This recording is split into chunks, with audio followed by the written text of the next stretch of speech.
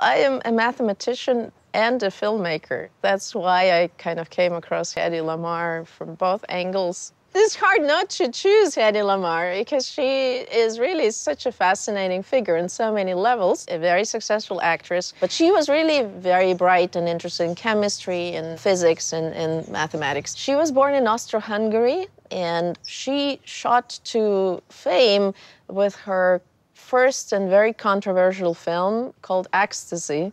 This was made in 1933 then she got married to an industrialist, uh, an Austrian industrialist. She was really interested in the scientific part of uh, his work and the research that was happening at his company. So she was a trophy wife, and there was no chance for her to be anything but this beautiful, you know, housewife that he wanted her to be. So she was not even allowed to act. She was recruited by MGM in 1937, 1938 to come to the U.S. and and become a Hollywood star. And her name was changed. She was not Hedy Lamarr by birth. She was called Hedwig Eva Maria Kiesler.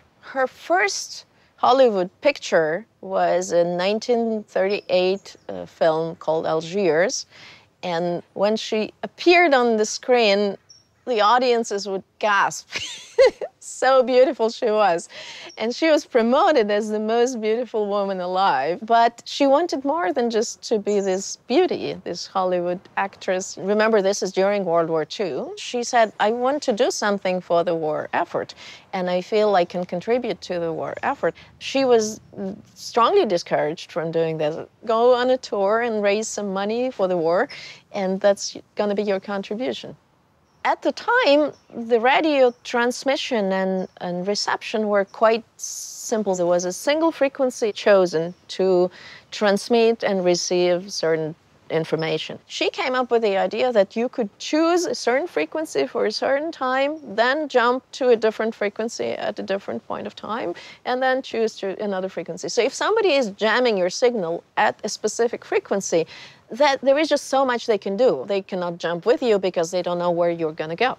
She and her friend, uh, George Antheil, who was a music composer, decided, okay, let's create sort of a piano roll that would specify which frequency we go to at which moment of time. And then once we, we're both equipped with the same code sort of for frequency hopping, then we can successfully implement that. And so that was the original idea. Kind of very simple in a way, right? But very inventive. They got a patent in 1942. And now if you look at, you know, Bluetooth communications, cellular communications we use every day on our smartphones, all of these techniques are using frequency hopping.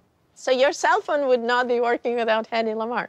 It's very inspiring to know that, um, you know, back in those days, a woman who was this beauty icon, film icon, could do something so dramatically different and so uh, brainy, could be really uh, encouraging to young women who are out there thinking, oh God, will I be considered a nerd? Is it such a boring, dry thing to do science? Here's an example of someone who is anything but boring, whose life was very uh, in interesting in many different ways, right? And, and she did science as well.